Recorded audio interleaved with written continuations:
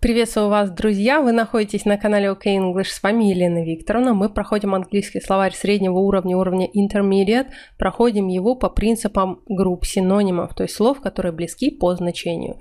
Итак, сегодня у нас урок номер 51, и мы говорим о глаголе guide, который переводится как направлять. Слово гид, да, экскурсовод, думаю, вам знакомо, то есть кто такой гид, который вам что-то показывает, да, направляет вас в какие-то места. Это, естественно, производное слово в русском языке его изначально не было, оно пришло, возможно, из английского языка, где оно выглядит вот так вот guide и переводится как направлять, либо вести за собой. Итак, guide – это глагол, verb, вести, направлять. Синонимами являются слова direct, lead, steer и conduct. Вот вам пример, кстати, гида, экскурсовода, который ведет группу людей за собой. Итак, guide. Guide means to show someone the way to somewhere. Guide – Вести – это показывать кому-то дорогу куда-то там, то есть вести за собой к какому-то месту. She guided us up the steps in the dark. Она вела нас по ступеням вверх в темноте. То есть она знала дорогу, да, и мы шли за ней. Она вела нас за собой. She guided us. И up the steps, то есть вверх по ступеням, да.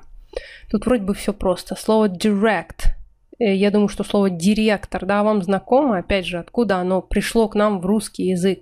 Это слово пришло к нам от английского director, то есть руководитель, тот человек, который руководит процессом и говорит другим, что им нужно делать. В английском языке, кстати, слово director имеет очень много вариантов перевода. Это и директор, и режиссер фильма, и э, руководитель оркестра, то есть дирижер, да.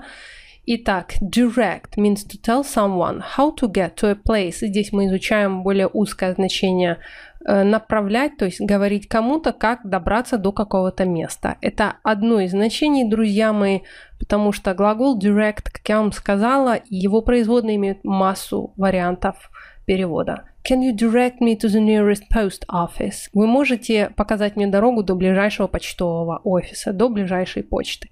Can you direct me? То есть сориентируйте меня, э, дайте мне инструкции, как мне туда попасть. Direct здесь даже лучше переводить как давать инструкции.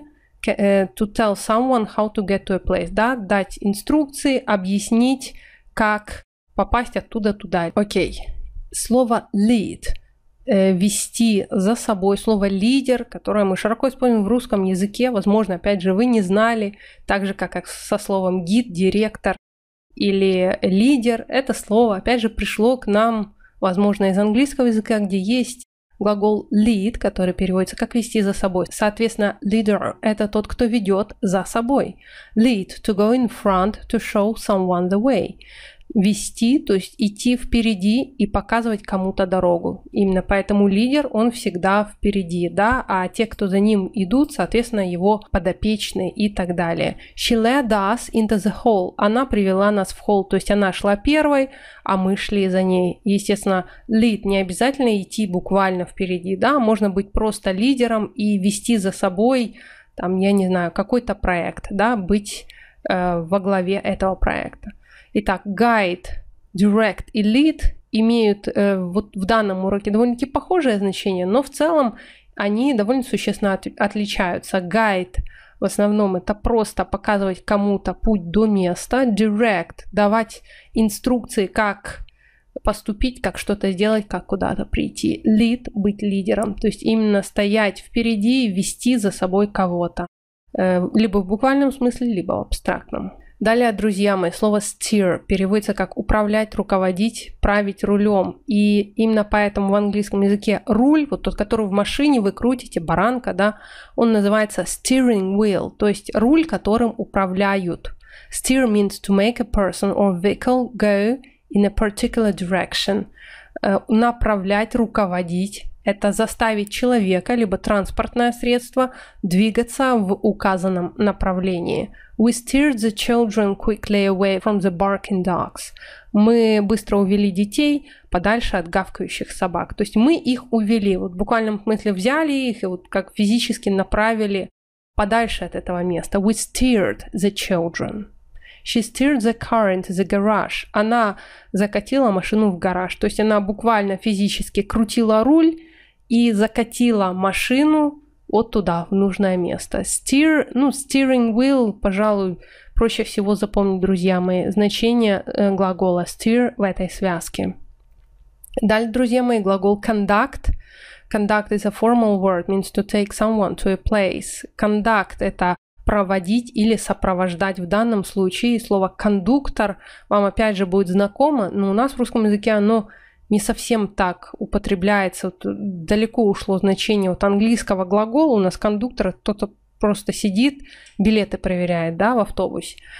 И в английском языке conduct – это быть сопроводителем, да, сопровождать. В принципе, да, можем сказать, что кондуктор, он сопровождает движение транспорта.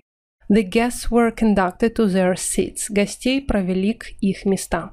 Видим, что слово conduct слово формальное, поэтому очень часто вы сможете его встретить в пассивном залоге, да, когда не указывается автор действия, э, э, выводим на первый план само действие. Were conducted, их провели. Собственно говоря, друзья мои, на этом все. Э, мы знаем теперь значение слова guide, direct, lead, steer и conduct. Давайте подумаем к этой картинке, какие из слов подойдут. Я думаю, можем сказать he guides these people, he leads these people, we can say he directs them, and um, well, we can say that he steers them, and uh, maybe formally we can say that he conducts them.